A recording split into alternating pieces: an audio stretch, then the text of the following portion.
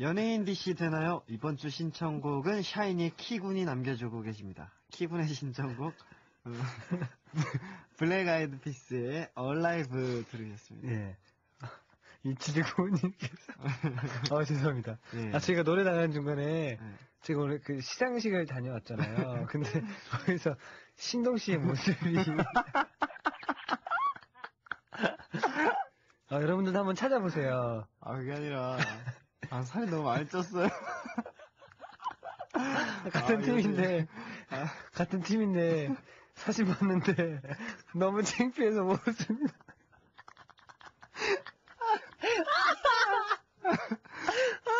아, 아, 죄송해요. 아, 요새 아 너무 좋아요.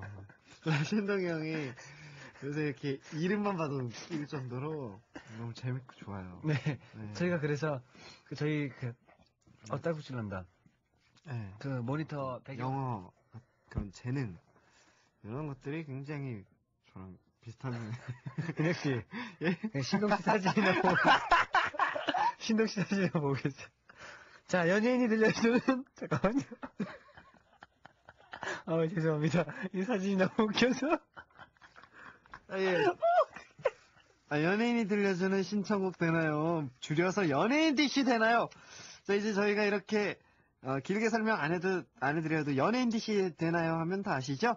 다음 주엔 또 어떤 분이 신청곡 남겨주실지 굉장히 궁금한데요. 가수뿐 아니라 뭐, 배우, 개그맨 분들도 환영하니까요. 많이 많이 신청해 주세요. 오늘 주제는, 어, 오늘 주제는요. 어, 뭘까요? 아, 그렇습니다. 나를 솔깃하게 하는 한마디. 나를 솔깃하게 했던 한마디.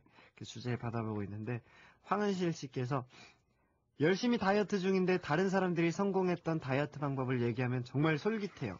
끈질기게 해야 하는데 맨날 귀가 솔깃해서 이거 조금 저거 조금 하게 돼요. 그러니 살이 안 빠지죠. 네. 이 다이어트라는 게 굉장히 자신과의 싸움이거든요. 예.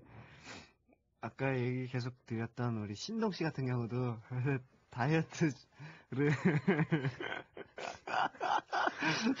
본인 말로는 다이어트를 하고 있는데 아, 어떤 식이냐면 저희가 이제 스케줄 가면은 이제 식사를 제공해 주세요. 그 어떤 이제 뭐 콘서트를 간다든지 하면은 그곳에서 가는 곳에서 식사를 제공해 주는데 보통 이제 멤버들은 여기서 먹고 여기서 또 와서 또 먹고 그러면 너무 배가 부르잖아요. 그러면은 콘서트 올라가기 무대 올라가기 전이니까 안 먹는 경우도 있고 하는데 그렇죠. 신동 씨는 매번 챙겨 먹는 거예요.